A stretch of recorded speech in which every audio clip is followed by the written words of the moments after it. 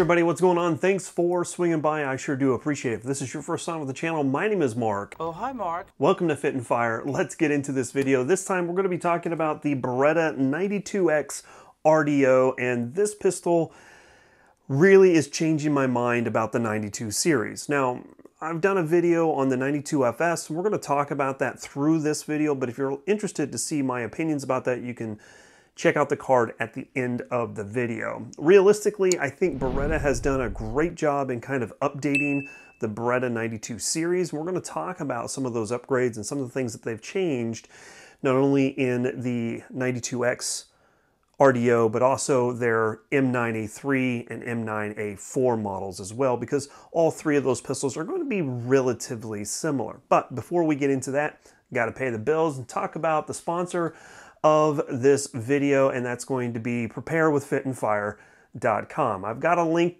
in the pinned comment. If you guys are interested in swinging by, I've partnered up with My Patriot Supply to provide you guys an opportunity to not only support the channel by ordering some emergency food stuffs from My Patriot Supply, but also naturally providing you with something that's going to help prepare you for certain events that may be coming to us soon. Now, I don't want to be alarmism or anything like that, but if you're paying attention to the news with uh, inflation rising and you know harvest season going to be happening here fairly soon, we might be in a situation where food might be a hot commodity. So having something kind of socked away to get you through, you know, some type of natural disaster, some civil unrest, whatever the case may be, might be a good idea.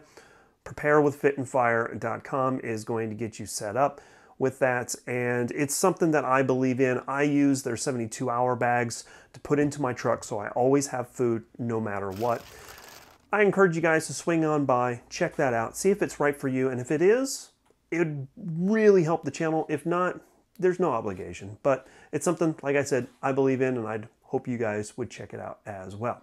Okay, let's get back into the video. Again, we're going to be talking about the Beretta 92X RDO, and the RDO is for a red dot optics ready version of the 92 series. Now, this is going to have a couple of different kind of upgrades or improvements that I think that the 92FS needed for quite some time, but with Beretta getting involved in attaching a red dot to this pistol, I think it has really kind of helped a number of other aspects as well. So let's just do a quick overview of this. Um, there's a lot of other videos that's going to go into a little bit of a deeper dive on this, and this is really going to be kind of my first impressions because I've only got about 250 rounds through this, but I really, really do like a lot of the added features that they've put into this pistol in comparison to the 92FS. What are the first things that I like to look at?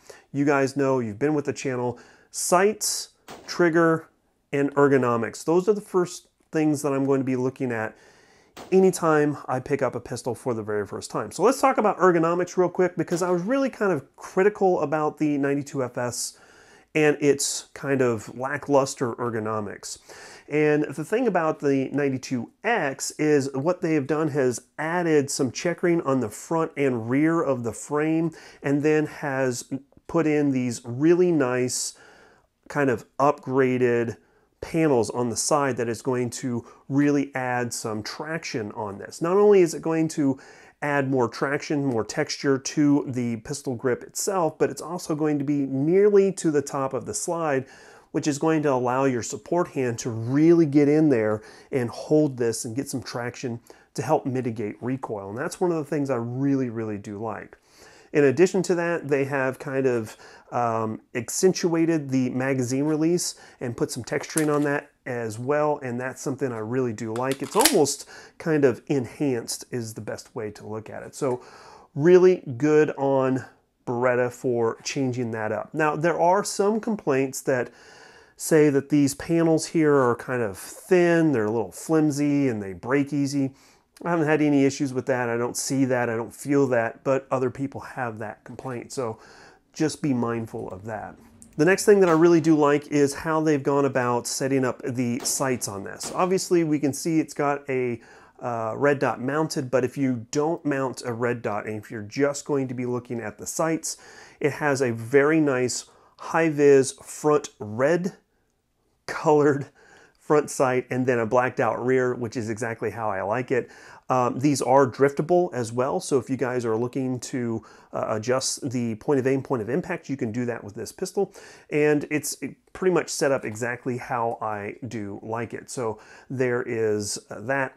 Great on Beretta for doing that aspect of it.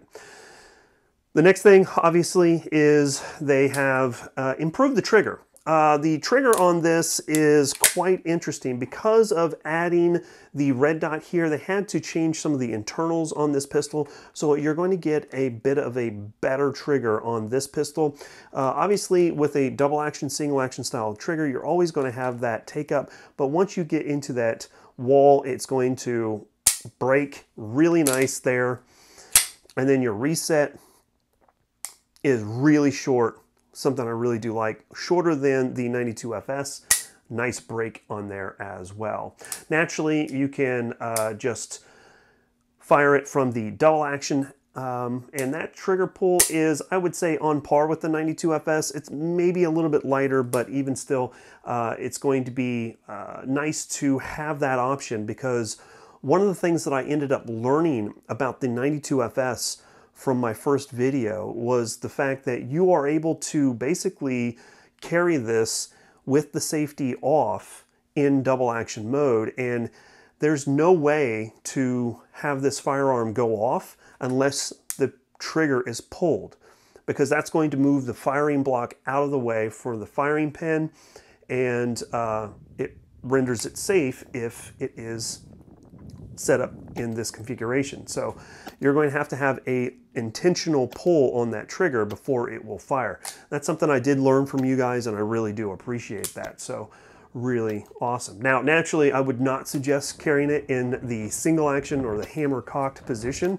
uh, because that light trigger pull uh, would obviously defeat the whole purpose. But uh, carrying it on fire in double action is a viable option for a lot of people out there. So there is that. Some of the other additions to this pistol is a Picatinny section here on the dust cover, which is something I really do like because I always put a light on my pistols, uh, specifically because of the holster that I use. I am using the Blackhawk Omnivore and uh, it allows you to use uh, tons of different pistols with that holster as long as you are utilizing a TLR1 light. So attaching a light on here allows me to get to the range. I can use the same holster for anything that I'm testing out for you guys, and I really do like that. So having that there is uh, great, and it also allows for uh, some weight to be added to the frame, so it also helps with recoil mitigation as well. In addition to that, it has some really nice front slide serrations because with Berettas, especially with it being an RDO, you're going to want to reach over and kind of cock it that way. But the downside to that is if you've been shooting this already, you have an exposed barrel, that's going to get hot. And if you're shooting without gloves, man, you're going to end up burning yourself that way. All right, let's get into the red dot situation for this pistol. And uh, right off the bat, holy height over bore, Batman. this, this is really, really interesting. Obviously, you can see that it is uh, pretty high up there, but if you look at the front, this plate actually hugs the slide fairly well, or at least that's what it looks like. The side here ends up being a bit of a optical illusion because it is concaved on the underside of the plate, but it is extremely sturdy and has done very, very well for me. In addition to that, having a red dot on this particular pistol has seen really good accuracy. Accuracy that I wasn't expecting myself to be able to pull. At 20 yards using 115 grain standard ball ammunition, I think it was 115 grain Winchester white box, if I remember correctly, I was able to get four or five rounds on a one inch square at 20 yards. And uh, that's really telling, not only of the accuracy with this pistol, but the combination of this pistol and a red dot added to it. And that's one of the major reasons why I prefer to have red dots on pistols. However, one of the biggest issues that I have found is every time I draw this pistol, I'm having to search for that red dot because I'm not used to the height over bore with this red dot being so high up on the pistol. I'm still having to locate that pistol, excuse me, locate that red dot as I'm drawing. And if I'm trying to do anything quickly, it's just not there for me as of yet. Now, I'm going to spend some more time with this pistol. I'm going to put it through a couple IDPA matches and see what I can do to uh, kind of fix that issue. But uh, as it stands right now, this pistol and the way it's set up is um, surprisingly good. Not only was I able to get this pistol with two of the 18 round magazines, but the deal that I got was an additional 21 round magazine for only 638 bucks the entire package, and that's one heck of a deal for uh, this particular pistol. Actually ends up making it cheaper than my beloved CZ SP01 Tactical. So uh, may do a comparison video between those two. Um, we'll see, I don't know. But realistically, overall, this pistol has really kind of pushed itself into the 21st century with all of these different kind of improvements, I guess is the best way to say it, for the Beretta 92FS, even though I have never been a big fan of this particular pistol from my experience in the military, I also know that that's a bit of a biased take as well. It's a fine pistol. It's done a lot of people very well. And uh, there has been some really cool improvements, not only with the 92X, but the M9A3, the M9A4, and the uh, Langdon Tactical Berettas as well. So that is something I really do like. The biggest downside I would say with this particular setup is going to be the height over bore on the red dot and maybe the grip panels here being a little flimsy, but uh, realistically, you probably can finagle those uh, to work for you. And I would say if you can find one of these under $700 like I did, I would definitely jump on this. So what do you guys have to say? Sound off in the comment section down below. What's your opinion of the 92X or the uh, Beretta 92 LTT, uh, the Langdon Tactical versions? Uh, do you prefer just the original 92FS? Let me know, sound off in the comment section down below. I would really appreciate it. If you guys aren't subscribed or following me on Instagram, I'd really appreciate you guys swinging by and checking that out. I know that does require you to sign up for Instagram, and a lot of people just don't like to do that. But if you're already on there, go ahead and swing on by and check me out there because I am doing a ton of stuff behind the scenes on Instagram, almost daily content for you guys. And uh, I would love to see you guys over there as well. In addition to that, I do have my newsletter that I'm doing every single week and uh, doing giveaways as well. So sign up for that. I'll have a link to all of that in the pinned comment as well. Really do appreciate you guys swinging by. Thanks for all the support and staying with me till the end. As always, freedom through strength. Here comes a high five. We'll catch you guys later. See you guys. Bye.